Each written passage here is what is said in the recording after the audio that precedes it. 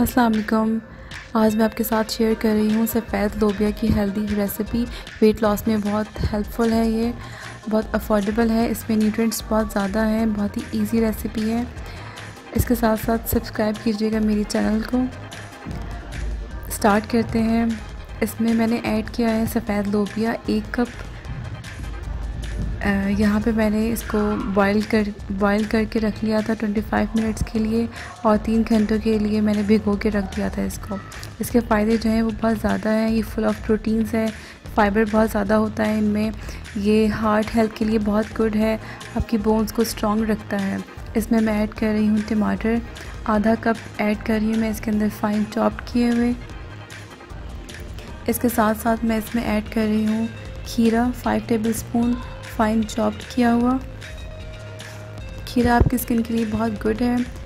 Onion प्याज मैं ले रही हूँ फोर टेबल स्पून इसके अंदर। और इसके साथ साथ मैं दही। दही जो है वो मैंने लिया है प्लेन इसमें किसी किस्म की क्रीम ऐड नहीं होगी। और इसके साथ साथ मैं इसके अंदर ऐड कर रही हूँ काली मिर्चों का powder half teaspoon add किया है मैंने इसके अंदर। सफ़ेद सिरका ऐड कर रही हूँ मैं वन टेबल स्पून इसको अच्छे से मिक्स कर लें और आपका बहुत ही हेल्दी सलाद हो जाएगा। रेडी गार्निश कर रही हूँ मैं इसको यहाँ पे मिल्क के साथ और इसके बाद आप इसको अपने इफ़ार में ऐड कीजिए।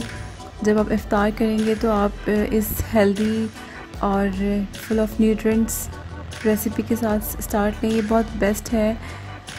आफ्टर फास्टिंग जब आप इसको लेंगे। इसमें किसी किसी किसी किस्म का सॉल्ट ऐड नहीं होगा शुगर ऐड नहीं होगा। इसको ऐसे ही लेना है। इसका टेस्ट जो है वो बहुत मज़ेदार होता है। आप इसको ट्राई कीजिएगा। अगर आप ये फॉलो करते हैं इसको और कोई ऑयली चीज़ें नहीं खाते और कोई शुगर ऐड नहीं करते, शरबत वगैरह नहीं लेते तो आपका इजीली फाइव टू सिक्स के वेट लूज़ हो सकता है। बट आपको इस बात का ख्याल रखना है कि आप कोई भी चीनी वाली चीज़ इस्तेमाल ना करें।